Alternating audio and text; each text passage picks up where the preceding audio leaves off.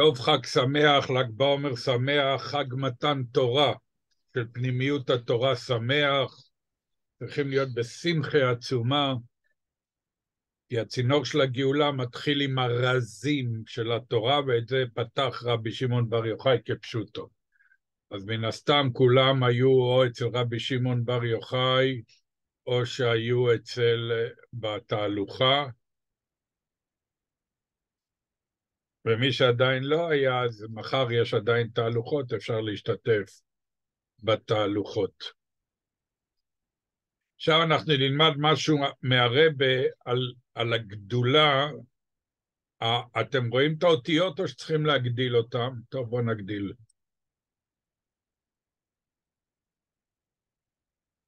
רואים את האותיות?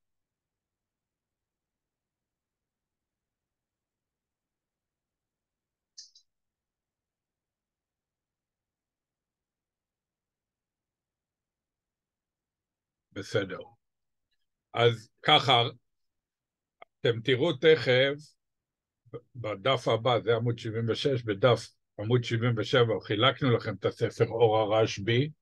מי שרוצה לעקוב אחרינו, בואו נראה אם זה גם פה עמוד 77, כי יש מהדורה קודמת, בואו נראה אם זה אותו עמוד. אה, לא זה, זה לא זה. טוב, צריך לראות באור הרשב"י, הוא לא לפניי, או עמוד 76. מה שחילקנו לכם, אפשר לפתוח עמוד 76, או להסתכל ריבוי מדרגות בצדיקים. אז זו שיחה של הרבי על רשב"י, ואנחנו נראה בעמוד 77, שהרבי אומר שיש שלוש דרגות מעל ל"ו. הרבי מציין את הדרגות האלה, ורשב"י היה בדרגה הזאת, רבי שמעון בר יוחאי. דבר ראשון צריך לדעת, כתוב בספרים, שכשעולים לציון של רבי שמעון בר יוחאי, אז הוא עומד על הציון ומברך כל מי שבא לשם. וכמובן, אחרי שהרבי אמר שרבי שמעון בר יוחאי משתתף בכל התהלוכות של הילדים, כמובן שהמבוגרים שמשתתפים שם, הורים וסבים וסבא וסבים וסבתות וסבא וסבתא רבא, אז מובן שזוכים לאותן ברכות שבציון של רבי שמעון בר יוחאי. אז הרבי אומר לנו ככה, ריבוי מדרגות בצדיקים. ריבוי מדרגות בצדיקים.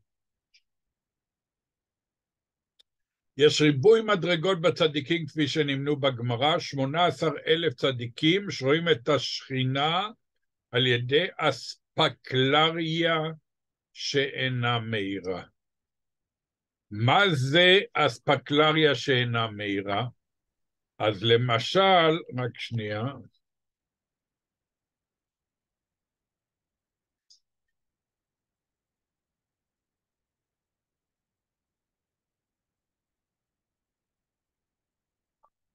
מה זה אספקלריה שאינה מהירה? אספקלריה שאינה מהירה זה למשל שרואים את עולם הבריאה דרך עולם היצירה. זה כמו משקפת, זה כמו שאתה עומד פה ומסתכל על בנייני עזריאלי, ואתה יכול לראות מישהו בתוך בנייני עזריאלי יושב ואומר תהילים. אבל אתה לא שם, אתה פה. אבל אתה רואה בתוך הבניין עם המשקפת. זה אספקלריה, זה אספקלריה שאינה מאירה.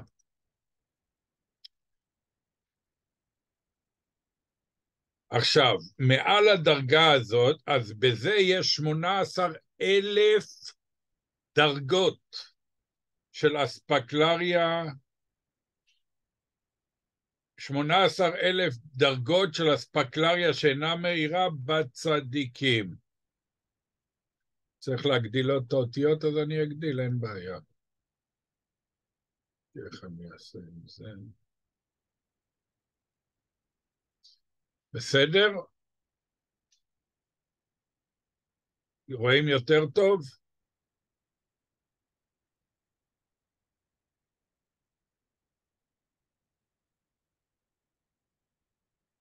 עכשיו, מעל הדרגה הזאת, של 18 אלף דרגות של צדיקים שרואים באספקלריה שאינה מהירה, הלוואי עלינו את הדרגה הזאת, בכל אופן,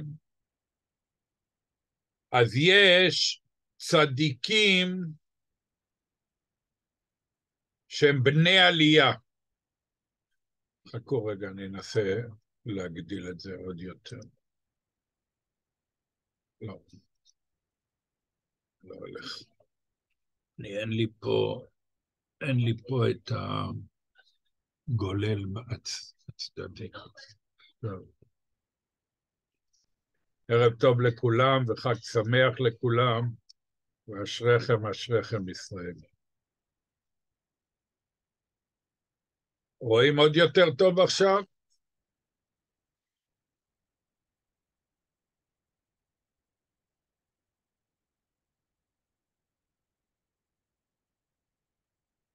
אז אמרנו, אמרנו שיש 18 אלף מדרגות של צדיקים שרואים את השכינה באספקלריה שאינה מהירה, וזו דרגה גבוהה מאוד מאוד, הלוואי עלינו. מעל זה יש צדיקים בני עלייה שרואים את השכינה על ידי אספקלריה המהירה. אספקלריה, ברוכים, אה, חג שמח לכולם, ל"ג בעומר שמח לכולם, ברוכים הבאים. מעל זה זה אספקלריה מהירה, אספקלריה מהירה זה שממש בדרגה שהם, אמרנו שאספקלריה אינה מהירה, זה כמו שאתה מסתכל דרך משקפת, אז אתה רואה בבנייני עזריאלי מישהו יושב ואומר תהילים, אבל אתה לא שם, אתה פה. והאספקלריה המהירה זה שכאילו אתה ליד אה, מה, ש... מה שקורה. אז אספקלר... מי ש... אותם צדיקים שרואים את השכינה על ידי אספקלריה מהירה הם מועטים. והגמרא מסיימת אודות מעלת בני עלייה שהם למעלה יותר מל"ו הצדיקים. אז ת... עוד מעט נראה בעמוד 77, זה עמוד 76, מי שקיבל את הספר יכול לפתוח את הספר ולראות את זה בספר. אז דרגה של בני עלייה היא דרגה יותר גבוהה מהדרגה של ל"ו צדיקים. שגם הם רואים את השכינה באספקלריה המהירה.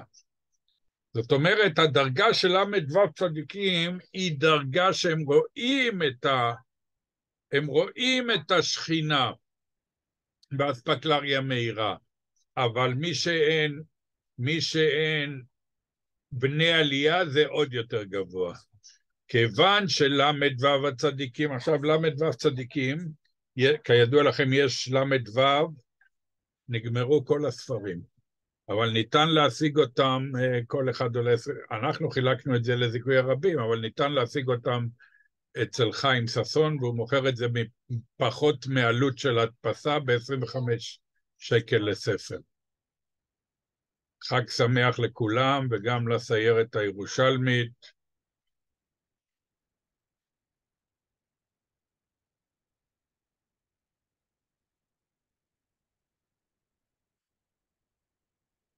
עכשיו, אז מה ההבדל בין... כן, ברוך השם. צריכים להיות גם בתהלוכה. כי הרבי אמר שמי שהולך לתהלוכה, אז זה כאילו היה, לא כאילו, זה ממש הוא היה אצל רבי שמעון בר יוחאי. ב... רבי שמעון בר יוחאי נמצא בתהלוכות. זה ממש הוא היה ב... במירון. עכשיו, ל"ו צדיקים שהם רואים את השכינה באספקלריה המהירה. אז מה ההבדל בין בני עלייה שרואים באספקלריה המהירה שהם דרגה הרבה יותר גבוהה מל"ו צדיקים לבין ל"ו צדיקים, אז ההבדל ביניהם הוא איל בבר, שנכנסים רק ברשות. הל"ו צדיקים נכנסים להיכלות העליונים וכולי, ולראות את השכינה באספקלריה המהירה רק אם יש רשות משמיים. והבני עלייה, איל בלא בר ללא רשות, הם נכנסים מתי שהם רוצים. עכשיו לעניין של ל"ו צדיקים. אז כידוע לכם שיש ל"ו צדיקים כפול שתיים. יש ל"ו צדיקים נגלים, ויש צדק, ל"ו צדיקים נסתרים. מה ההבדל סיפור אחד מהבעל שם טוב הקדוש, מה ההבדל, מתי זוכים להיות צדיק מל"ו נסתר, ומתי זוכים להיות צדיק מל"ו נגלה. אז הבעל שם טוב הקדוש, כל זמן שאימא שלו, שהוא היה תינוק, וכאב לו הבטן, ושאר עניינים שהתינוקות בוכים מהם, שרוצים לאכול וכולי, אז, אה, כש, אז כשכל זמן שאימא שלו הייתה בבית, הוא אף פעם לא בכה. אף פעם, היא אף פעם לא שמעה, הוא התאפק, כדי שאימא שלו לא תצטער. עכשיו, פעם אחת אימא שלו יצאה, סתם דוגמה למכולת, והוא ראה שאימא שלו לא שם, כאב הבטן או משהו, אז הוא בכה. עכשיו השכנה בדיוק עברה שם, ושמע תינוק בוכה, ואימא שלו לא איתו. אז כשאימא שלו באה, היא ככה ירדה עליה ואמרה לה, מה זה? משאירים תינוק בוכה והולכים? מה זה הדבר הזה? והיא מאוד התביישה, אימא שלו, והיא אמרה, מה, התינוק שלי בוכה? אף פעם לא שמעתי אותו בוכה. אז אומר הבעל שם טוב הקדוש, שהחבר שלו, שהחבר שלו, כשאימא שלו יצאה למכולת והשאירה אותו לבד, וגם כאב לו הבטן או שאר עניינים של תינוקות בוכים בגללם, הוא לא בכה. לכן עליו נגזר להיות צדיק מל"ו נסתרים. והוא, הבעל שם טוב הקדוש, בגלל שהוא בכה כשאימא שלו יצאה, אז נגזר עליו להיות מל"ו צדיקים גלויים. הבנו? אז כמה פעמים אנחנו בוכים שלא בדיוק צריך? אז אה, אם אתה, אם אתה בוכה, אם אתה בוכה כשלא צריך, אז אתה עלול להיות מל"ו גלויים ולא מל"ו נסתרים. אז לא כדאי. אז לא כדאי לבכות על כל דבר, כי אז יעשו אותך מל"ו גלויים ולא ל"ו נסתרים.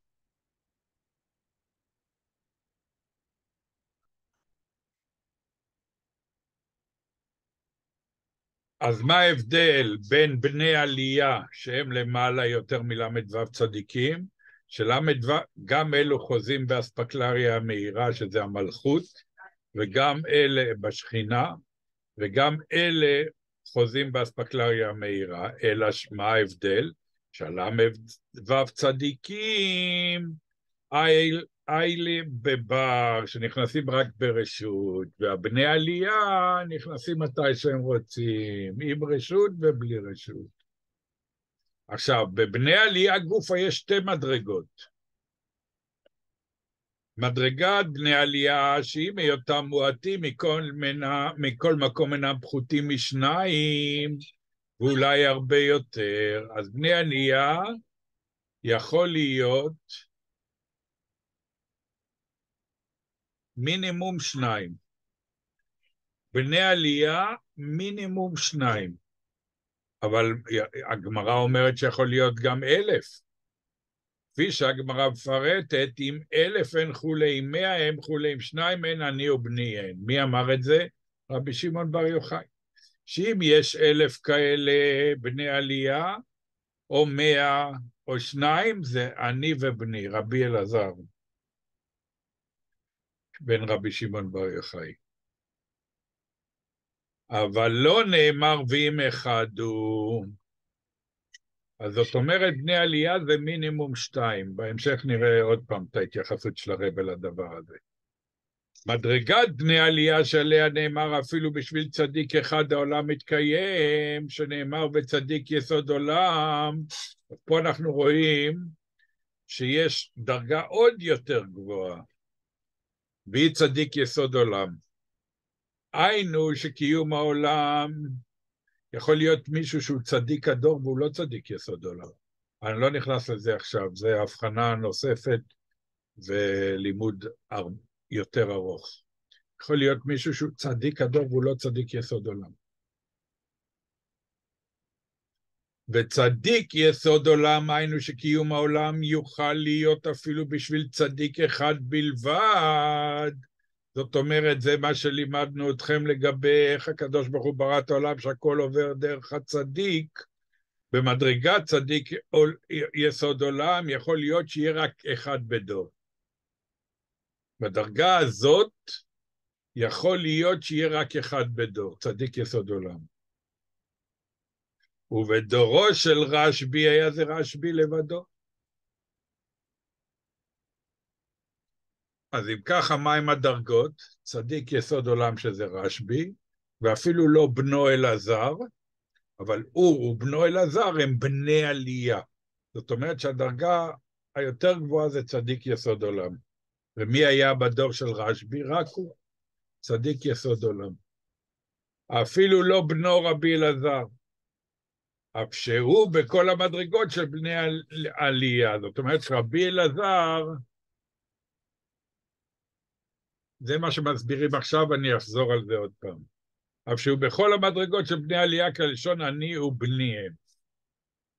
עכשיו, לגבי, לגבי השאלה שלך, מה ההבדל בין צדיק יסוד עולם לבין צדיק שהוא בן עלייה, אז זה יהיה בעמוד 77. עוד, כשנגמור את העמוד הזה, עוברים לעמוד 76, זה עמוד 76. אז שמה יהיה התשובה לשאלה שלכם. בדורו של רבי שמעון בר יוחאי היה רק רבי שמעון בר יוחאי בצד... בדרגת צדיק יסוד עולם. וכמסופר בזוהר הקדוש שרבי שמעון בר יוחאי אמר לבנו רבי אלעזר, בוא נראה מה רוצה הקדוש ברוך הוא לעשות בעולם. הלכו, פגשו מלאך, מה המלאך הזה, סיפרת לכם את זה כבר. מה המלאך הזה היה צריך לעשות? היה צריך להחריב איזה מקום. ואמר לו רבי שמעון, מה רצונך לעשות? והשיב לו רצוני להחריב את העולם. פה כתוב את העולם, אבל יש סיפור על... אה, טוב, נתקדם עם הגרסה הזאת. כיוון שאין שלושים צדיקים בדור כולי, אמר לו רבי שמעון בר יוחאי, הנני מבקש ממך, לך לפני הקדוש ברוך הוא ואמור לו שבר יוחאי נמצא בעולם. הלך המלאך לפני הקדוש ברוך הוא ואמר לו, ריבונו של עולם, גלוי וידוע לפניך מה שאמר בר, רבי שמעון בר יוחאי. אמר לו הקדוש ברוך הוא, לך ואחרב העולם. ואל תשים לב לבר יוחאי. וכאשר בא המלאך ראה אותו רבי שמעון בר יוחאי ואמר לו, אם לא תלך עוד הפעם לפני הקדוש ברוך הוא, אגזור עליך שלא תעלה השמיימה, ותהיה במקום של עזה ועזאל, אלה שני המלאכים שקטרגו. אז אה, הקדוש ברוך הוא קשר אותם בערי החושך. וכשתעלה לפני הקדוש ברוך הוא אמור לו, אם אין שלושים צדיקים בעולם יספיקו עשרים וכולי, ועד שיספיקו שניים, אני ובני רבי אלעזר. ואם אין אפילו שניים, ישנו אחד, אני, דכתיב וצדיק יסוד עולם. ונמצא שבדורו של רבי שמעון בר יוחאי היה רק צדיק אחד בדרגת צדיק יסוד עולם, רבי שמעון בר יוחאי. עכשיו אנחנו עוברים לשלב הבא.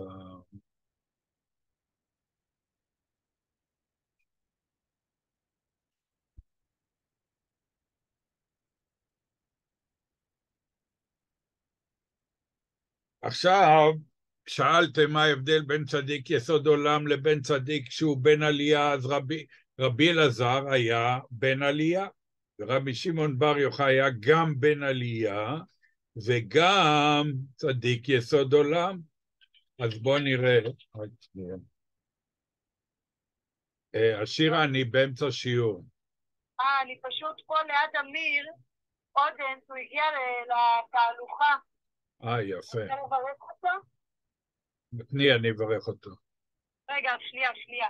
הנה, אמיר, אבא, אבא רוצה לברך אותך.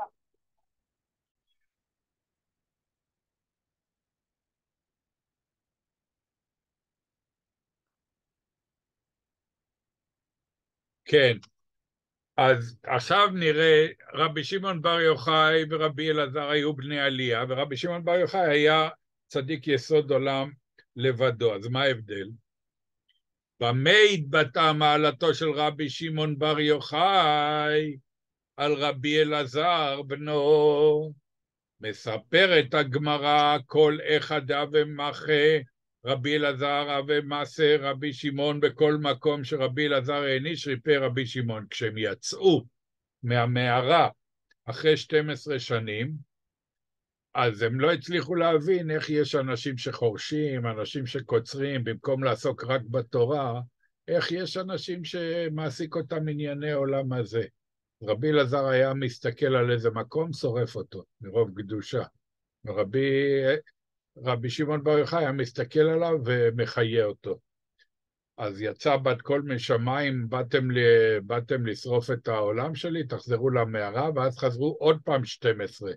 רק הפעם 12 חוד... 12 חודש. קודם הם היו 12 שנה, ועכשיו 12 חודש. רבי אלעזר, אף שהיה צדיק ומבני עלייה, היה בחיי רשב"י מובדל מן העולם. זה ההבדל ביניהם. שרבי אלעזר היה צדיק קדוש, קודש הקודשים, אבל הוא היה מובדל מן העולם. רבי שמעון בר יוחאי היה קודש הקודשים ולא מובדל מן העולם. עבודתו הייתה לעצמו בלבד, כמובן שהועילה לכל העולם, אבל בכל אופן הוא לא עסק עם גשמיות, הוא עסק רק ברוחניות.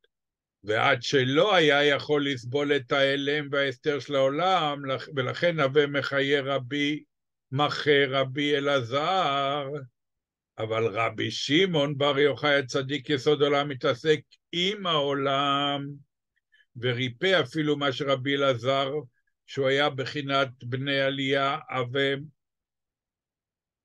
מחה.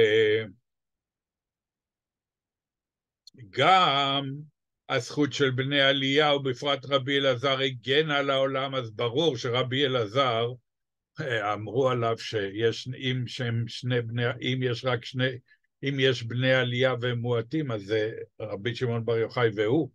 ברור שהזכות שלו הגנה על העולם. ברור שהזכות של רבי אלעזר הגנה על העולם. אבל זה לא סתירה לזה שרבי שמעון בר יוחאי היה צדיק יסוד עולם. היה גם בן עלייה וגם צדיק יסוד עולם. ורבי אלעזר זה משהו עצום, עצום, עצום. נכון, יפה, שהחסידות מקשרת עם העולם. וכנ"ל מדברי הזוהר הקדוש, לאבו השירין כולי לאבו טרנדינון אנה וברי, אם אין עשרים אז יש שניים, והשניים האלו זה רבי אלעזר ורבי שמעון בר יוחאי. אבל זהו רק באופן שבזכותם נעשה עולם מוגן, אבל לא באופן שפועל בעולם לזכחו. אז הנה ההבדל, שאלתם מה ההבדל, הנה ההבדל. רבי אלעזר, הזכות שלו מספיקה להגן על העולם. רבי שמעון בר יוחאי, חוץ מזה שהוא, הזכות שלו ושל רבי אלעזר בנו להגן על העולם, אז הוא גם יכול לזכך את העולם. ואת זה בן עלייה לא יכול לעשות. את זה יכול לעשות רק צדיק יסוד עולם. עכשיו, לגבי ההגנה על העולם, יש בזה כמה דרגות. ובהגנה זו ישנם כמה דרגות. למי שהצטרף, אם אתם רוצים, בספרים שחילקתי לכם, אור הרשב"י, אז uh, בספרים שחילקתי לכם אור הרשב"י, אז יהיה, זה עמוד 77, מי שרוצה לראות את זה בספר יכול, מי שרוצה, מי שרוצה ב... בזום יכול גם בזום. עכשיו, בהגנה של בני עלייה לעולם יש בזה כמה דרגות, וככל שתהיה המדרגה נעלית יותר של הצדיק, יהיה המספר קטן יותר. כמובן, המדרגה הראשונה בסוג זה היא שלושים, ובמדרגה נעלית יותר רק עשרים. על מה מדברים פה? על בני עלייה. בני עלייה יכול להיות גם אלף, יכול להיות גם מאה, יכול להיות שלושים, יכול להיות עשרים. ובמדרגה היותר נעלית רק שניים. כאשר העולם הוא יותר מזוכח, מספיקה הזכות של המדרגה שבה יש תלתים, שלושים, וכאשר העולם הוא מגושם ביותר, לא מספיקה אפילו הזכות של המדרגה שיש בה רק טריין. וזהו הפירוש דברי הזוהר ואי לטריין שעולה במצב שלא מספיקה אפילו הזכות של המדרגה שיש בה רק שניים. אז מה כן יועיל? אם בני עלייה לא מועילים, המצב, המצב כל כך על הפנים, רשעים גוברים בו, אז מה, מה צריך לעשות? אז צריך את הדרגה של, אה, צריך את הדרגה של צדיק יסוד עולם, שזה היה רשב"י, ואז מספיק הוא כדי שיהיה קיום לעולם. מה שאין כן רבי שמעון בר יוחאי, תיאר את העולם ותיקן אותו, הוא מתעסק עם העולם, ועל ידי זה מזכך אותו. ועכשיו אתם תראו שיש חמש דרגות בצדיקים, ואפילו מעל הדרגה של ל"ו יש עוד שלוש מדרגות. אנחנו פעם ידענו של"ו זה השיא, פתאום אנחנו רואים שיש שלוש מדרגות מעל זה. ונמצא שבאמיתת שם הטוב והמעלה של צדיקים יש בכללות חמישה סוגים. מי הם החמישה סוגים? צדיקים שרואים באספקלריה שאינה מהירה, כמו שהסברנו, כמו שהס... נכון, כמו שהסברנו בתחילת השיעור, שעליהם אומר רבנו הזקן בתניא, פרק י' שהם צדיקים שאינם גמורים, שמספרם הוא 18 אלפי צדיקי, 18 אלף מדרגות של צדיקים שרואים באספקלריה שאינה מהירה. נו, הלוואי ונהיה בדרגה הזאת. מעל זה צדיקים שרואים באספקלריה המהירה, אבל איילה בבר והם ל"ו צדיקים, אז פה זו דרגה הרבה הרבה יותר גבוהה שרואים באספקלריה המהירה. רואים באספקלריה המהירה את השכינה, אבל זה רק אם נותנים רשות. איילה בבר. אם נותנים רשות משמיים הם רואים, אם לא נותנים הם לא רואים.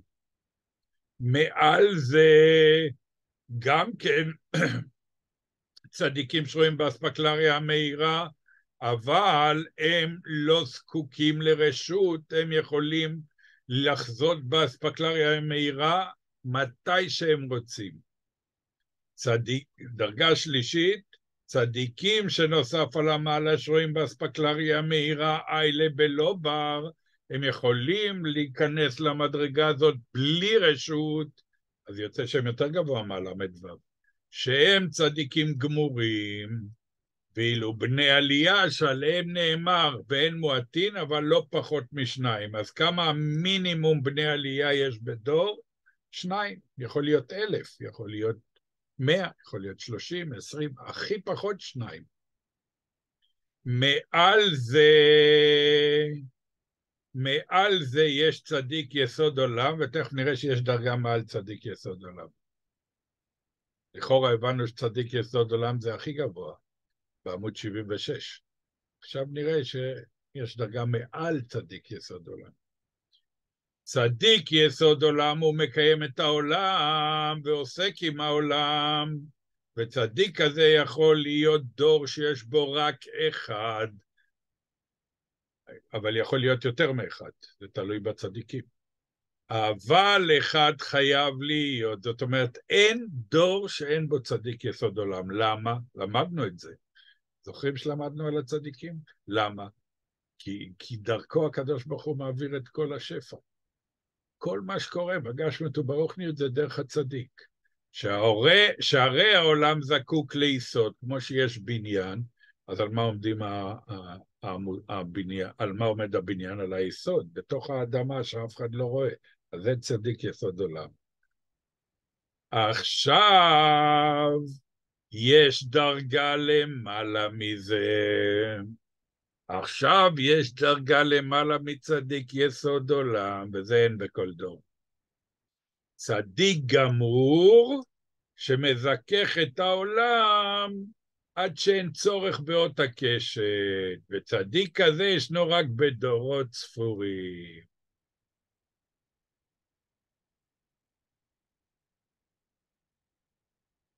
פה סיימנו את ה... אה, לא, פה יש עוד תוספת. שאלות? יש שאלות? כן, רבי שמעון בר יוחאי. אז זה הדרגה החמישית הכי גבוהה, שזה סוג של צדיק שלאו דווקא בכל דור יש אותו. לא בהכרח שיהיה בכל דור אותו. אז כולם הבינו את החמש מדרגות שבצדיקים? אספקלריה זה, זה לראות את השכינה. משה רבנו זכה ל, ל, לראות את השכינה באספקלריה המהירה, ויהושע בן נון באספקלריה שאינה מהירה.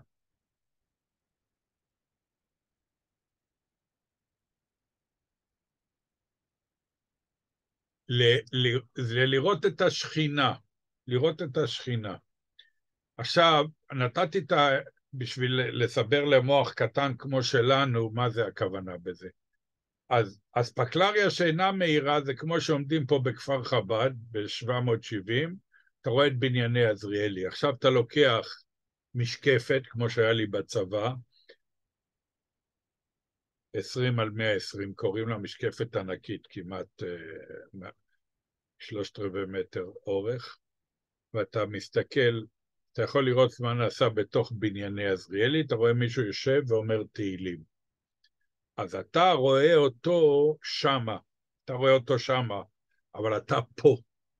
רק המשקפת מקרבת לך את המציאות. אז כשאתה מסתכל, אתה כאילו שם, אבל אתה פה. הבנתם? זה אספקלריה שאינה מהירה, והאספקלריה מהירה זה שאתה שם. אתה בחדר איתו ואתה רואה אותו.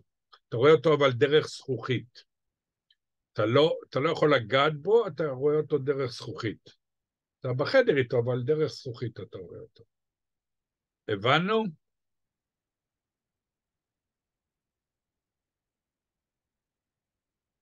אז אספקלריה שאינה מהירה, אז כאילו אתה שם, אבל אתה לא שם, אתה פה.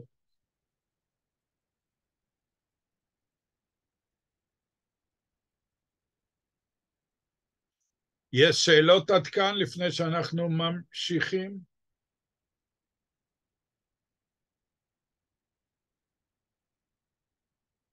טוב.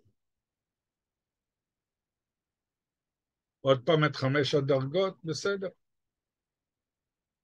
הדרגה הראשונה זה צדיקים שרואים באספקלריה שאינם מהירה. כאלה יש 18 אלף דרגות, זה כתוב בפרק י' בתניא. 18 אלף דרגות של צדיקים שאינם רואים באספקלריה המהירה. רואים באספקלריה שאינה מהירה. דרגה שנייה זה הל"ו, שרואים באספקלריה המהירה, אבל לא כל הזמן הם רואים. למה לא כל הזמן הם רואים? כי הם צריכים רשות. מתי שנותנים להם רשות, אז הם רואים. מעל זה יש את האספקלריה המהירה, שהם למעלה מ, מ, שהם, שהם בני עלייה, שהם למעלה מל"ו צדיקים, יכול להיות. שהם למעלה מל"ו צדיקים והם נקראים בני עלייה. מעל זה, אז זה, זה ככה, זה 18 מדרגות שרואים באספקלריה שאינה מהירה, ל"ו צדיקים שרואים אספקלריה מהירה אבל צריכים רשות להיכנס, בני עלייה שרואים באספקלריה מהירה אבל לא צריכים רשות להיכנס, וצדיק יסוד עולם, שיכול להיות בדור רק אחד, ודרגה של צדיק גמור שמזכך את העולם עד שאין צורך באות הקשת שבנוח. צדיק כזה ישנו רק בדורות ספורים, לא בכל דור. אז הבנו את כל חמש המדרגות.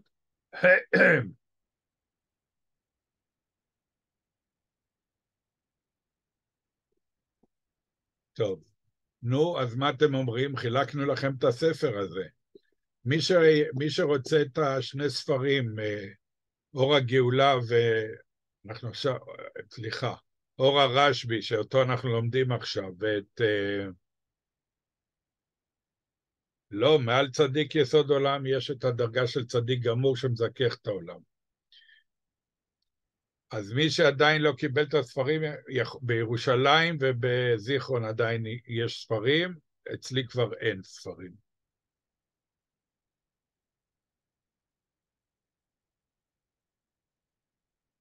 כן.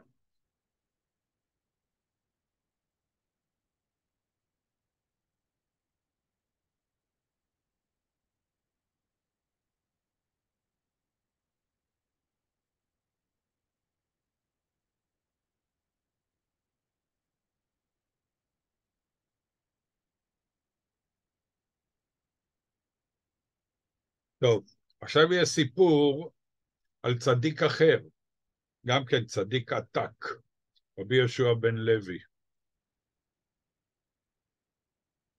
אודות סיפור הגמרא שבימי רבי יהושע בן לוי לא נראתה הקשת. רבי יהושע בן לוי, שהיה צריך להיפטר מן העולם, ובא מלאך המוות, אז הוא ציווה עליו, על מנח המוות, תן לי את החרב שלך. והוא נתן לו, נתן לו את החרב, ואז אמר לו, תתכפף, והוא טיפס עליו ונכנס לגן עדן עם החרב. ואז זהו, אין יותר מיתה בעולם, אף אחד לא מת יותר. ואז יצאה בת קול ואמרה לרבי יהושע בן לוי, תחזיר לו את החרב, כי העולם, צר... העולם זקוק לזה. אז תארו לכם איזה צדיק זה. שהוא דורך על היצר הרע, על השטן, ועוד נכנס לגן עדן עם החרב שלו.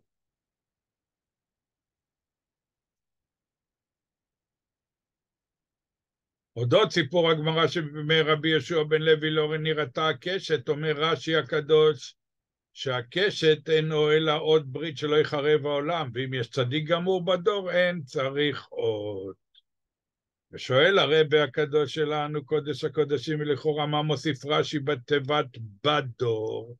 הרי מובן שכדי שבדור מסוים לא יצטרך העולם לעוד קשת, הרי זה דווקא על ידי הצדיק שנמצא בדור זה. אלא בזה מתרץ רש"י למה לא די בכך שיש צדיקים בכל דור ודור. כיוון שאפשר להטעין את זה. כיוון שמוכרח להיות צדיק גמור בדור, צדיק גמור, צדיק שהוא בסוג של בני עלייה דווקא, שהם במדרגת צדיק גמור כנ"ל, ובדור מוכרח להיות צדיק גמור, שהוא בדור שמלובש בדור, ומתקנו ומתארו ומזכחו. אז מה הצדיק עושה? הצדיק זה כמו נשמה בגוף של הדור. הצדיק הוא מלובש בדור, הוא מתקנו ומזכחו. הצדיק הוא כמו הנשמה לגוף. העובדה שלא נראתה הקשת בימי רבי יהושע בן לוי לא בגלל שזכותו הגנה, אלא בגלל שהתמסר לזכך את העולם. דוגמת רשב"י בדורו, שבימיו לא נראתה הקשת. אז מי שרוצה לדעת מה למדנו, אז למדנו פרשת בלק, י"ז תמוד תשכ"ג, כרך ל"ז, עמודים 170-173, אבל למדנו רק שלוש אותיות. יש, יש את ההתחלה של זה, שלא... עכשיו נלמד עוד משהו מהרבה, משהו קצר. ועל דרך דברי הגמרא בנוגע לרבי מאיר, רבי מאיר בן הנס, הם היו תלמידים, הם, הרי מה, מה, למה עד עכשיו לא שמענו מוזיקה והתאבלנו? כי על 24 אלף תלמידים.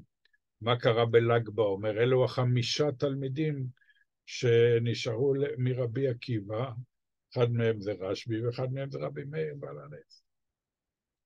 וגם עוד אחד שלא מזמן, שעכשיו היה היורצת שלו, זה רבי יהודה בר אילאי. על דרך דברי הגמרא בנוגע לרבי מאיר, שכיוון שהיה מופלא בחוכמתו, באופן שלא יכלו חבריו לעמוד על סוף דעתו, לכן הלכה כמותו. אלא כרבי יהודה, איזה רבי יהודה? רבי יהודה בר אילאי, שהיה חבר שלו. תראו פה משהו פלא.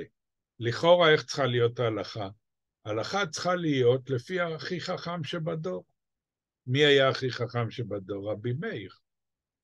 אבל למה ההלכה לא כמותו? שלא יכלו חבריו לעמוד על סוף דעתו. הוא היה כל כך, ולא מדברים פה עליי שאני לא מבין את רבי מאיר בעל הנס, מדברים פה על צדיקים קדושי עליון, קודש הקודשים, תנאים קדושים שכל אחד יכול להחיות מת. אז למה לא הלכה כמותו? כי לא יעמדו על סוף דעתו. לא.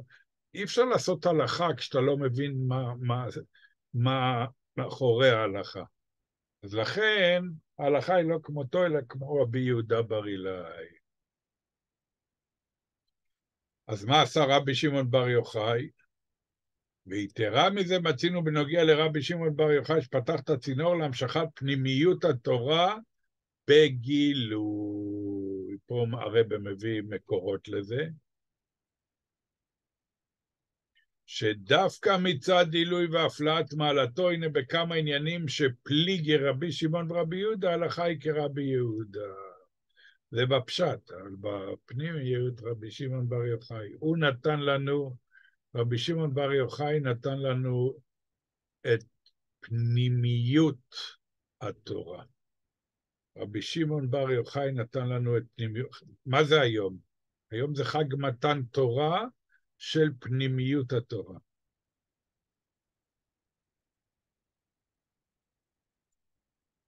עכשיו, ילדים בדורו של רשב"י ובעקבתא דמשיחא, אז באמת רואים בדור של רשב"י, אפילו ילדים ידעו סודות. והיום גם רואים את זה, לומדים טניה עם ילדים. אפילו ראיתי תינוקת, תינוקת בת שנתיים, השתבח שמו לעד, אומרת כמה שורות בתניא, אפילו לא אומרת את המילים נכון, אבל אומרת כמה שורות בתניא. היא ילדה בת שנתיים. אומרת כמה שורות בעל פה בתניא. אז מה רואים? שאנחנו דורו של משיח. שמצינו בזוהר בנוגע לדורו של רשב"י, אם אתם רוצים ילדים טובים, ואין מישהו שלא רוצה ילדים טובים, תלמדו אותם טניה. והסבתות ילמדו את הנכדים שבאים אליהם. חוץ ממגנטים, יתנו, ילמדו אותם טניה בעל פה. ואתם תראו שילדים בני שנתיים-שלוש יגידו לכם טניה בעל פה. זה, זה יפעל שהם יגדלו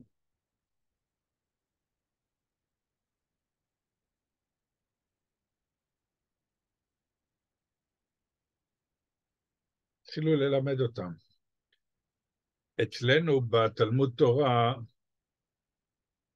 אצלנו בתלמוד תורה, כשהייתי מלמד לפני כמה אלפי שנה, אז uh, ילדים בני חמש ושש ידעו את פרק ל"ב בתניא בעל פה, בעל פה. ילדים בני חמש ושש היו יודעים את פרק ל"ב בתניא בעל פה, ממש אבל. כדאי, כדאי, כדאי לעשות את זה עם הילדים והנכדים שלכם. כדאי מאוד.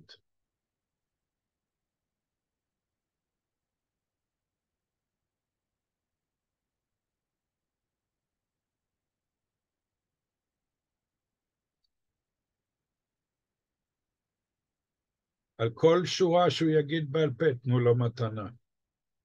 על כל שורה שהוא יגיד בעל פה, תנו לו מתנה. שיביא, שייתן לו חשק להגיד בעל פה.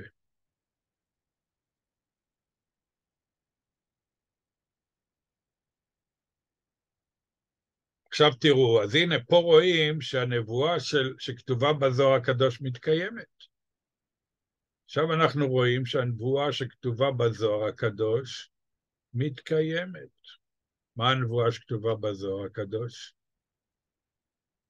שמצינו בזוהר הקדוש בנוגע לדורו של רבי שמעון בר יוחאי, שאודותיו, אודות הדור, אמר רשב"י, לא יאה דרא כדרא דעת זימנא דיית מלכה משיחה.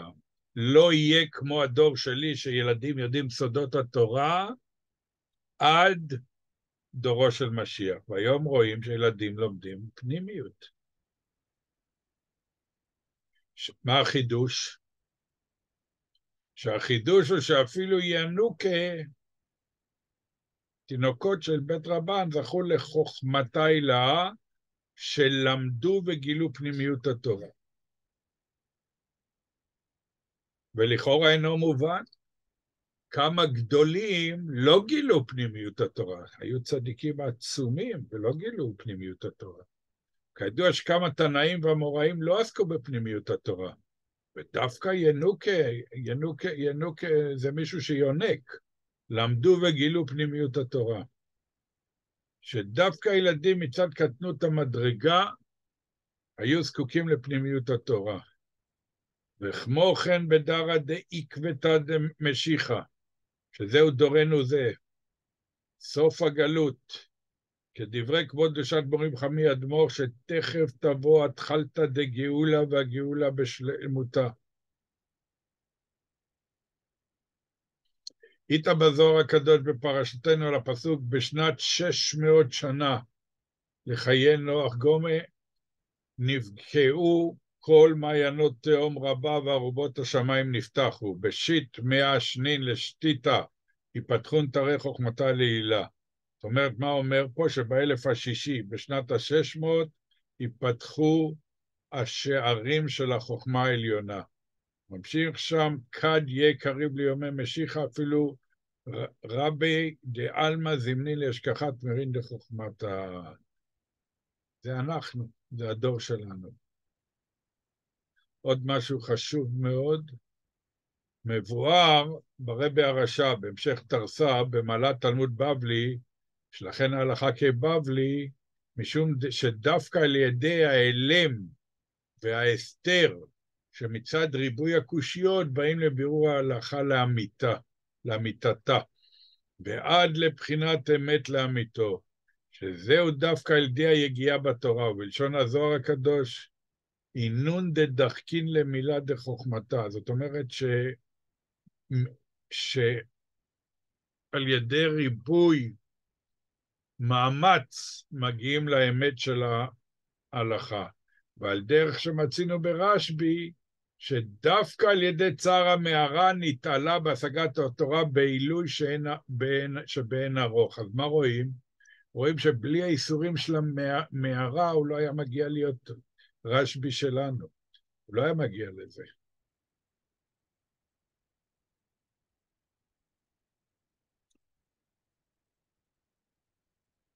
אצל רשב"י נעשו כל העניינים על ידי האומנות שלו, שזוהי התורה. והנה בנוגע לפעולה שעל ידה נעשה ירידת הגשמים, שזהו כללות עניין ההשפעה מלמעלה, ידוע סיפור הזוהר הקדוש, זימנה חד עבד צריכה עלמא למיטרא, היה העולם זקוק למטר, לגשם, עטו לקמא דרבי שמעון בר יוחאי, באו לפני רבי שמעון בר יוחאי וביקשו גשם, פתח ואמר, שיר המעלות, הנה מה טוב ומה נעים, שבט אחים גם יחד. זאת אומרת שהוא לא התפלל כמו חוני המעגל, אלא הוא אמר תורה. והיינו שפעל ירידת גשמים על ידי זה שאמר דרוש בתורה לפסוק, הנה מה טוב ומה נעים, שבטחים גם יחד. ומבואר בזה שאצל רבי שמעון בר יוחאי נעשו כל העניינים על ידי האומנות שלו, שזוהי התורה, תורתו אומנותו, ולכן נעשה גם העניין דרידת גשמים, ולא על ידי עבודת התפילה, על ידי קיום מצווה כולי, אלא על ידי אמירת תורה דווקא. אמנם נוסף על כללות הפעולה דירידת גשמים על ידי התורה מצד העניין דתורתו אומנותו, שזהו בכל ענייני התורה בשווה, יש עוד עניין בזה. שבתורה גופה נפעל עניין זה על ידי אמירת תורה לפסוק הנה מה טוב ומה נעים שבט אחים גם יחד דווקא, ש, ש, לעניין הזה של הנה מה טוב, מה נעים שהבטחים גם יחד, זה עניין של האחדות של עם ישראל. ופה אני דווקא מספר סיפור לא כל כך נחמד. היה בשנות הלמדים, היה צריך להיות תהלוכה. ושני חסידים שהיו ממארגנים של התהלוכה רבו ביניהם. ואז הרבה לא יצא לתהלוכה. ויום אחרי התהלוכה עשה התוועדות, והוא אמר שעכשיו הוא אומר את מה שהוא אמר בתהלוכה, והוא אמר, לא יצאתי לתהלוכה בגלל ששני חסידים רבו. אתם שומעים? אתם שומעים? ועוד דבר נגיד לכם, היה מישהו שחלם את הרבה, בן אדם פשוט בתכלית הפשיטות, לא איזה תלמיד חכם ולא איזה חסיד גדול, חלם את הרבה. ואז הוא שאל את הרבה, רבה, למה אתה לא בא לגאול אותנו? והרבה ענה לו, אתם רבים ביניכם, איך אני אבוא לגאול אתכם? אז מי שלומד אצלנו, שיברח מהמחלוקת כרחוק, כמו שבורחים מאש, כרחוק מזרח ממערב. אם יש מחלוקת פה, אתה לא פה, אתה... איפה שיש מחלוקת, אתם לא פה. מי שלומד אצלנו, ישמע את העצה הזאת וירוויח. וירוויח. ולא משנה על מה המחלוקת. אם המחלוקת היא על הקוגל, על ההרינג, או על היחי, או על ה... כן משיח, לא משיח.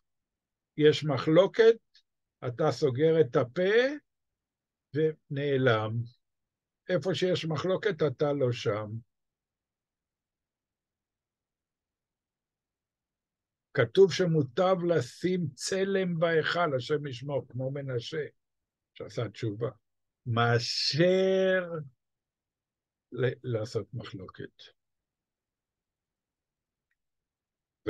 ובעניין של מחלוקת, נכון, נכון, צודקים. מחלוקת זה חלק מת, נכון?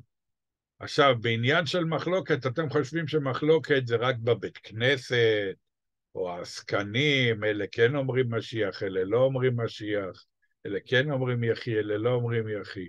מחלוקת זה גם בתוך הבית. יפה. מחלוקת זה גם בתוך הבית. אז אם אחד משני הבני זוג יתלבש עליו רוח שטות, אז אתה תהיה, או את תהיו החכם. לברוח מהמחלוקת, גם בבית. אה, אבל אני אוהבת את בעלי, אה, אני אוהבת את אשתי, אז מותר לי לצעוק עליה מה שאני רוצה, כן, מי אמר?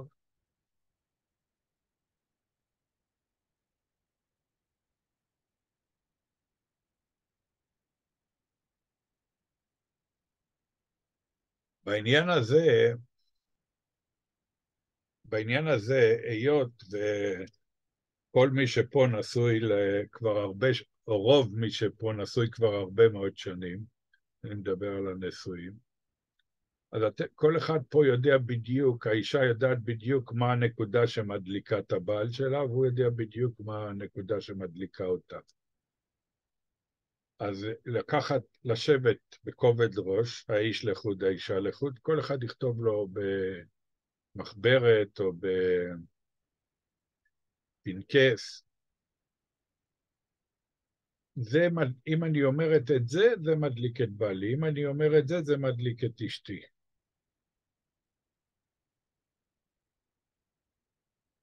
ואז לשנן לעצמך עוד פעם ועוד פעם ועוד פעם, את זה אני לא אומר, לא, הבעל לא לאישה והאישה לא לבעלה. לשבת עם עצמכם, לשבת עם עצמכם לרשום. אם אני אומרת לו ככה וככה, הוא קופץ. אם אני... ואתם יודעים שזה ככה. אתם יודעים בדיוק, אם את אומרת לו ככה וככה, צ'ק, הוא קופץ. זה כמו נחום תקום.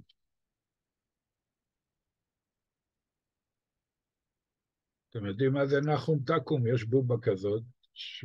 שמשכיבים אותה, יש בובה כזאת שמשכיבים אותה, והיא נעמדת חזרה. זה כמו נחום תקום. אתם יודעים שאם תגידו את המילה הזאת, הבעל יקפוץ. אם תגיד, אתה תגיד את המילה הזאת, האישה תקפוץ.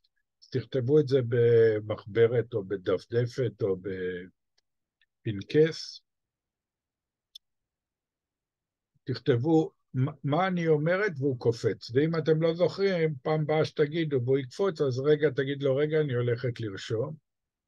רגע, עכשיו אני הולכת לרשום, ועכשיו תשננו לעצמכם את זה, את זה לא להגיד יותר. נגמר.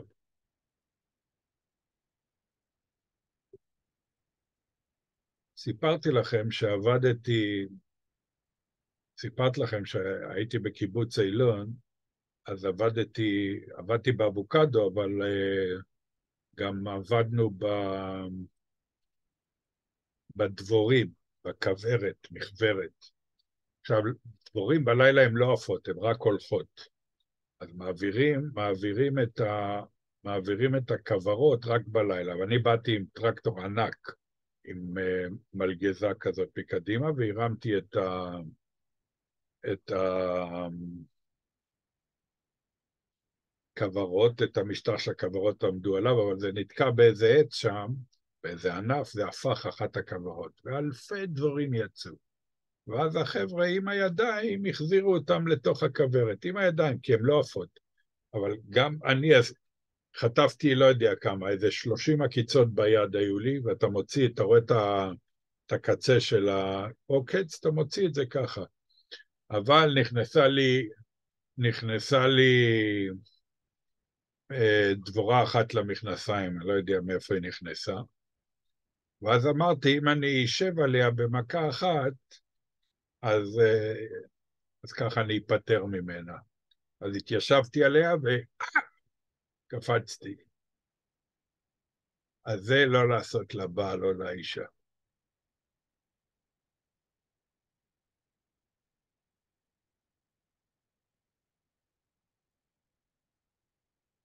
את זה לא לעשות לבעל האישה, לעקוץ לך.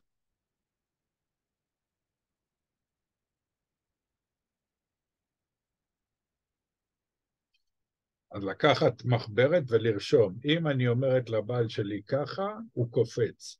אז את משננת לעצמך, את זה אני יותר לא אומרת לו לעולם. אותו דבר אתה לאשתך.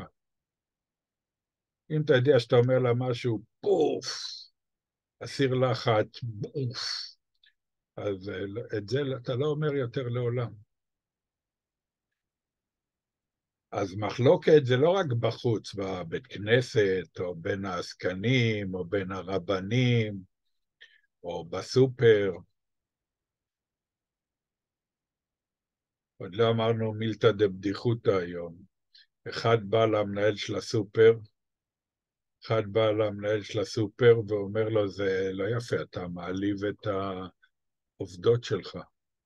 אז הוא אומר לו, למה אני מעליב את העובדות שלי? הוא אומר, תסתכל, כל, כל אלה שיושבות שם, כתוב מעל הראש שלה, קופה, קופה, קופה.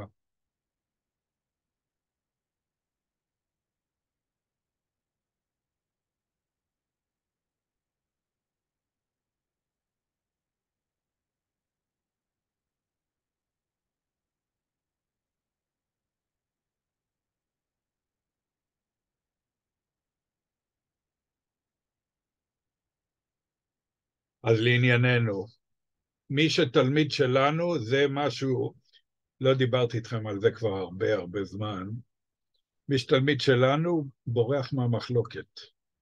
וזה לא משנה אם זה מחלוקת של העסקנים, של הרבנים, של ה...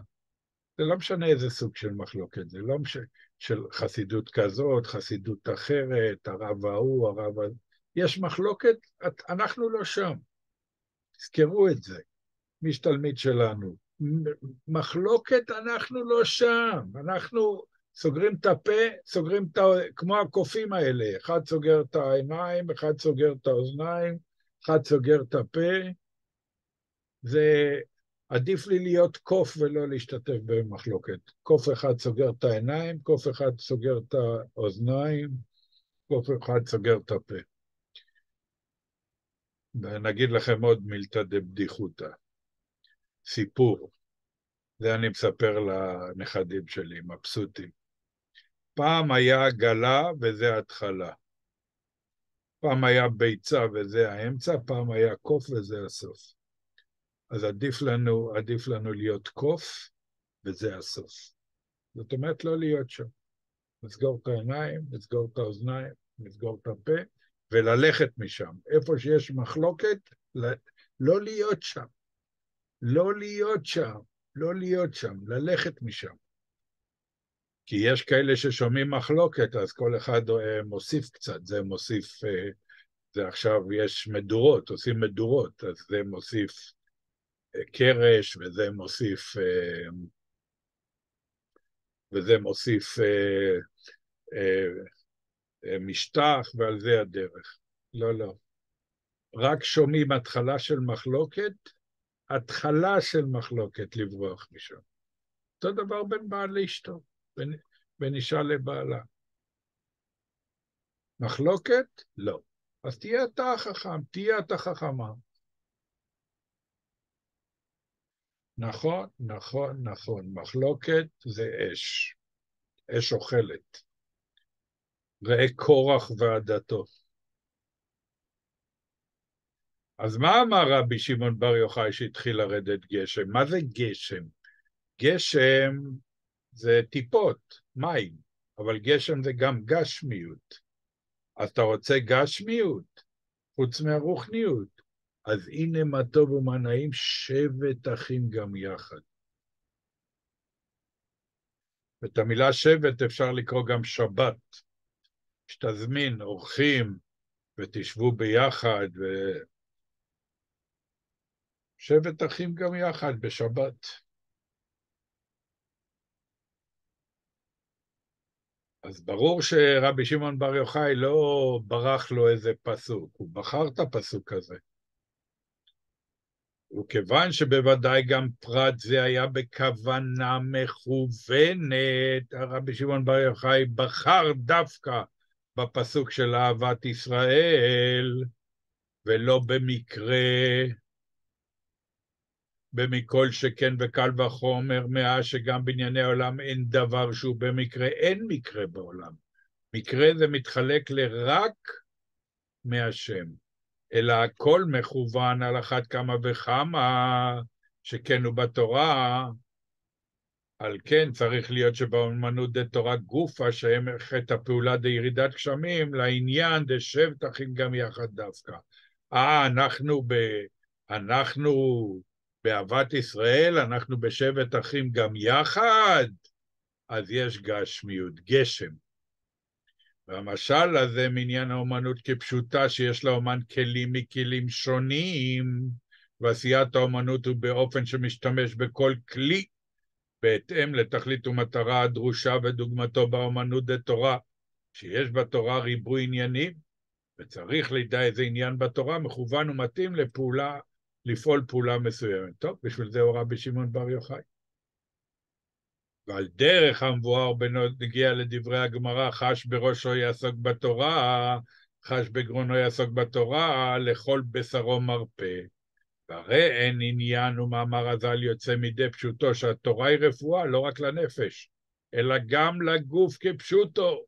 זה לכאורה הרי רואים שחש בראשו ועוסק בתורה, לאו דווקא שמתרפא על אתר, העניין הוא שיש בתורה כמה חלקים ועניינים, וביניהם גם עניינים השייכים לראש ועניינים השייכים לגרון. כאשר החש בראשו עוסק בתורה, אילו היה יודע לכוון ולמצוא את החלק והעניין בתורה השייך לראש, היה מתרפא מיד. שומעים? זאת אומרת, אם אתה יודע איזה חלק בתורה שייך לאיזה חלק שכואב לך בגוף, אז אתה תתרפא. ועל דרך זה בענייננו, שכדי לפעול ירידת גשמים על ידי אמירת תורה, הוא צריך רשב"י למצוא עניין בתורה שייך לירידת גשמים. ודווקא על ידי עניין זה יכול להמשיך שתהיה ירידת גשמים כפשוטו בעולם הזה הגשמי. עוד קטע קצר, אבל דווקא לא קצר. טוב, עוד קטע ובזה אנחנו מסיימים להיום. הכלי להמשכת ברכותיו של הקדוש ברוך הוא עניין האחדות, את זה כולנו יודעים. רוצה ברכה? תהיה באחדות. ובביאור שייכות הפסוק שבטחים גם יחד לפעולת ירידת גשמים גשם, שיהיה לך גשמיות, יש לומר שבט אחים גם יחד קהי על כללות הנהגה באופן של אהבת ישראל, אוהב שלום, רודף שלום, אוהב את הבריות. טוב עין הוא יבורך, אתה רוצה להיות מבורך? אל תהיה צר עין, תהיה טוב עין, תברך, כל היום תברך. והמברך יבורך בכפלי כפליים. שזוהי גם ההדגשת הנה מה טוב ומה נעים שבט אחים גם יחד, מה העיקר פה? הנה מה טוב ומה נעים. איך זה קורה מה טוב ומה נעים? על ידי שבט אחים גם יחד. שהעניין דשבט אחים גם יחד הוא באופן של טוב ונעימות, לא שמתווכחים ורבים ומחלוקת. על דרך האמור לעיל בנוגע לנתינת הצדקה בספר פנים יפות דווקא, המפייסות דווקא. ועניין זה אינו הוראה פרטית לאיש פרטי, אלא זהו עניין הכי עיקרי וכללי אצל כללות בני ישראל, כמובן מדברי אדמו"ר הזקן שבאהבת לרעך כמוך, חד הוא אם ואהבת את השם אלוקיך, אתה אוהב את השם אלוקיך, תעשה אהבת ישראל. כתוב מפורש בחסידות, זה, אדמור, זה הבעל שם טוב אומר את זה. שאם אין אהבת ישראל, אתה אפילו לא מתקרב לעבודת השם. אחד יגיד, אני עושה ואהבת את השם אלוקיך, אין כזה דבר. אם אין ואהבת את לרעך כמוך, אין ואהבת את השם אלוקיך. ועל כן, כשם שוואהבת את השם אלוקיך, נאמר בפרשה ראשונה לקריאת שמע, הוא ציווי שכל אחד ואחד מישראל מחויב בו, כך ואהבת לרעך כמוך, הוא ציווי שמחויב בו כל אחד ואחד מישראל, מכהן גדול עד כולי. אין נקי, גם פשוט שבפשוטים יכול לפעול רבות על ידי אהבת ישראל. בעניין זה אהבת ישראל שבט אחים גם יחד נוגע ושייך במיוחד לירידת גשמים, כי העניין ירידת גשמים כללות עניין הפרנסה. דרך אגב, אמרו שירד גשם אה, בל"ג בעומר, ירד? קשור עם עניין דין, כמאמר הז"ל, קשה יומא דמיתרא כיומא דדינא, קשה יום הגשם כיום של, של הדין, ולכן העצה לפעול ירידת גשמים למרות הדין שבדבר היא כוח ומעלת הציבור, כמאמר הז"ל אין הקדוש ברוך הוא מואס בתפילתן של רבים, שנאמר אין אל כביר ולא אימס, שלכן גם בתפילת יחיד צריך לכלול את עצמו עם הציבור. נוסף על העצה להתפלל על חברו. אתה רוצה ליהנות? שיענו לך משמיים, כל המתפלל על חברו נענה תחילה. כמאמר הז"ל, כל המבקש רחמים על חברו והוא צריך לאותו דבר, הוא נענה תחילה. וזהו תוכן סיפור הזוהר, שכאשר איץ צריך עלמא למיתרא, שהעולם צריך לגשם.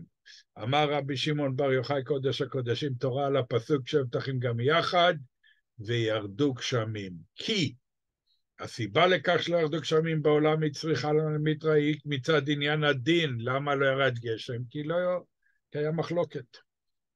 והעצה לזה היא אמירת תורה על הפסוק שבטחים גם יחד, שהוא עניין צירוף והתקללות. כך וכך מבני ישראל יחדיו, כמו אחים. אחים זה מלשון אחווה.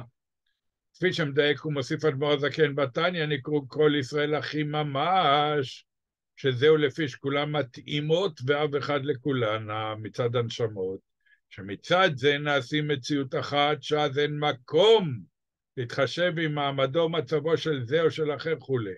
ומילא לא אבית קודשא בריחוד דין. האם יש שלום בין בני ישראל? אז, אז אין דין. השלום קובע שלא יהיה דין, ולא נהרגים ולא נפצעים, וזהו מה שכתוב, ברכנו אבינו כולנו כאחד, כבר דיברנו מזה הרבה פעמים. אתה רוצה שיהיה ברכנו? צריך שיהיה כולנו כאחד. אתה רוצה שיהיה ברכנו? צריך שיהיה כולנו כאחד. שהכלי להמשכת ברכותיו של הקדוש ברוך הוא האחדות, כולנו כאחד, שבט אחים גם יחד. עכשיו עוד משהו, עוד משהו חשוב מאוד, ובזה מסיימים להיום. לפני נשמות הגבוהות, כמו רשב"י, לא נחרב הבית כלל. מה הפירוש של זה? הרי למטה, אם אתה הולך מאחורי הכותל המערבי, יש בית המקדש, לצערנו הגדול יש את השפחה שם. אז מה זה שלא נחרב? כי רבי שמעון בר יוחאי רואה את בית המקדש שלמעלה, אז לפניו לא נחרב. אז בואו נלמד את זה עוד קטע קצר. ידוע מה שכתב רבי הלל מפריץ' בספרו פלח הרימון, ששמע רבי אייזיק מאומיל בשם רבנו הזקן, אדמו"ר הזקן, שלפני נשמות הגבוהות כמו רשב"י, לא נחרב בית המקדש כלל, הבית כלל. ולכאורה אינו מובן, הרי גם אצל רשב"י לא היה עניין הקורבנות, ואיך אפשר לומר שלא נחרב הבית כלל? והביאור בזה, על... והביאור, תזכירו לי לספר סיפור קצר תכף על פסח. והביאור בזה על פי האמור לעיל בעניין בנשלמה פרים שפתנו, שעל ידי העסק בתורת הקורבנות היה אצלו עניין הקורבנות בשלמות. ואף שעניין זה היה רק בתורה, בסוף כל סוף היה חסר אצלו מעשה הקורבנות, מכל מקום, כיוון שבתורה היה הדבר בשלמות, והאיר אצלו בגילוי, הרי זה נחשב כמו שלא נחרב הבית כלל. ועל דרך זה בנוגע לתורתו של רבי שמעון בר יוחאי, פנימיות התורה, שנתגלתה בדורות האחרונים בתורת החסידות.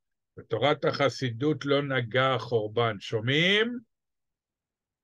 אם מישהו יש לו קצת חורבן בבית, תלמד חסידות עם אשתך, ואז לא נגע החורבן. הגילוי דתורת החסידות הוא כמו הגילוי דזמן הבית. ויתרה מזה, כמו הגילוי דמשיח. זה לא רק הגילוי כמו שהיה בבית המקדש שהיה, אלא בית המקדש והמשיח שיהיה, זה החסידות. מצד, זה האור של החסידות. מצד גילוי זה אין מחיצות והגבלות כלל, ועל ידי הגילוי דחסידות שלעת עתה הוא רק בעניין התורה, עתימר יבוא הבעל שם טוב, דמלכה, כמו שכתוב באיגרת הקודש של הבעל שם טוב, עתימר יבוא משיח. דם מלכה משיחה זה מלך המשיח בגילוי בעולם בקרוב ממש. והסיפור שהבטחתי לכם, אני לא זוכר כרגע איזה צדיק, אבל זה היה הרבה צדיקים כאלה, כרגע שכחתי שם, היה צדיק שהיה עושה פסח רק הוא ואשתו, ליל הסדר, אף אחד לא נכנס לשם. לא חסידים, לא משפחה, אף אחד. הוא ואשתו עושים ליל הסדר. הוא היה חסיד שהגיע ממקום רחוק וביקש מהרבה, מהאדמו"ר שלו, סיפור מלפני 100, 150 שנה. אז זה מופיע בספרים שלי, מי שראה את זה. אז אה, נפלאות הצדיקים. אז uh, הוא ביקש, אני חייב להיות איתך בליל הסדר. אמר, לא, לא, חייב, חייב, חייב. הוא אמר לו, תשמע, אני ארשה לך להיות, אבל אסור לך לדבר מה שאתה רואה. אסור לך לדבר. אז הוא קיבל על עצמו את התנאי, ושהגיעו לשפוך חמתך על, על, הגויים אשר לא ידעוך, הרבה נעלם. היה כיסא והרבה איננו שם. ואחרי איזה זמן הוא חזר. ו... ואחרי הפסח הוא שאל את הרב שלו, לאיפה נעלמת? אז הוא אמר שאליהו הנביא לקח אותו וצדיקים אחרים להקריב בפועל ממש קורבן פסח. אז אלה דברים שהלוואי עלינו. טוב, וגם גם עם זה וגם בלי זה, שיהיה קורבן פסח במציאות בבית המקדש השלישי, עם מלכנו בראשנו. אז נתנו לכם רק קצת טעימה מהספר אור, אור הרשב"י. אז נתנו לכם את הספרים האלה, אור הרשב"י. עכשיו ככה, מי שעדיין לא קיבל, לי, או ליה פה, ליה, קיבלתם את הספרים? או לקח, יותר נכון, לקחתם את הספרים? אז ככה, ניתן להשיג עדיין, אצלי נגמר הכל, לא נשאר אפילו לחלוקה כרך אחד אפילו לא.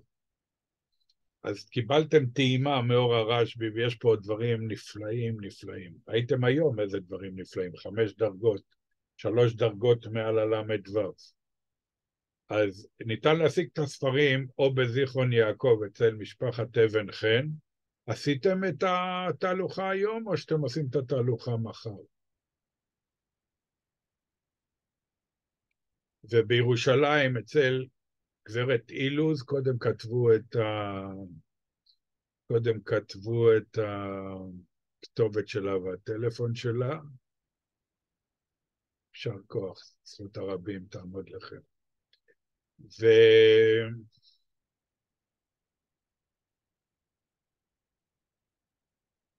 ומי שלא השיג לא פה ולא פה, אז אפשר לקנות אצל רבי חיים ששון, הוא מוכר את זה בזיל הזול. פחות מה שזה עולה, זה 25 שקל לכרך, שווה, שווה. אפשר לצלצל אליו, ולא יודע אם לשלוח בדואר, לא יודע איך הוא עושה את זה.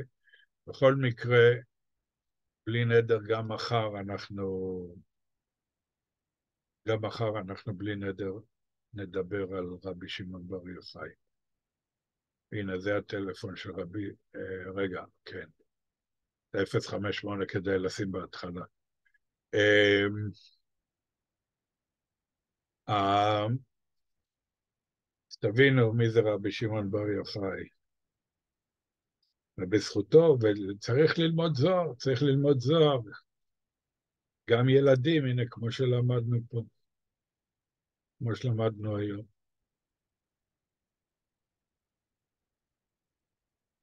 ויהי רצון לפני אבינו מלכנו שבשמיים, אב הרחמים ואב הרחמן, שיגאל אותנו בגאולה שלמה ואמיתית, בזכות רבי שמעון בר יוחאי, והזכות שלו מספיקה לזה. ושנזכה ללמוד את החסידות, ללמוד וללמד, לשמור ולקיים, והכל בקדושה ובטהרה, ושיהיה לכולם, בזכות רבי שמעון בר יוחאי, בני חיי ומזוני רוויחי, ובכולם רוויחי, ושיהיה לכולם נחת חסידי מכל הילדים, שכל הילדים יעשו כיבוד אב ואם, כמו שכתוב בתורה. כדאי מאוד לעבוד על המצווה הזאת, ללמד את הילדים קצת את ההלכות של זה. ושיהיה לכולם שלום בית מושלם ושמחה בטהרתה, ובפרט היום צריכים להיות בשמחה עצומה, זו ההילולה של רבי שמעון בר יוחאי. ומי שאין לו ילדים, שקדוש ברוך הוא ייתן לו ילדים, ומי שלא נשוי, שיחתן אותו, הכל עוד השנה. שהקדוש ברוך הוא יגיד על כל אחד ואחד מאיתנו, נחת רוח לפניי, שאמרתי ונעשה רצוני. שהכל יהיה באופן של קדושה ובטהרה, ושכל אחד ואחד מאיתנו ישלים את הכוונה שבשבילה באנו לעולם, לעשות לשם מטבח דירה בתחתונים, בפועל ממש ממש ממש. לעג בעומר שמח ורפואה, רפואה שלמה לכל מי שזקוק לזה, באריכות ימים ושנים טובות, מתוך בריאות איתנה, ובתוך כל אלה שעוד לא התחתנו, שיהיה, שתזכה להתחתן סוזן עדי בת חפצי בה, ושתביא לכם פעוטון גדול מאוד מאוד מאוד. ובעניין שלום בית, שיהיה לכם מה זה משעמם, איזה שעמום, שעמום גם מעיין דוד בן לילי גילי. בשלום בית שיהיה לכם שעמום כזה שלא תריבו, ממש לא תוכלו לסבול את השעמום. אז לא להתחיל לריב בגלל זה. צריכים להיות בשלום. כל וגם שוהם בת רחל, שתזכה להתחתן השנה, בעזרת השם. כל אלה שזקוקים לזה. כל טוב סלע.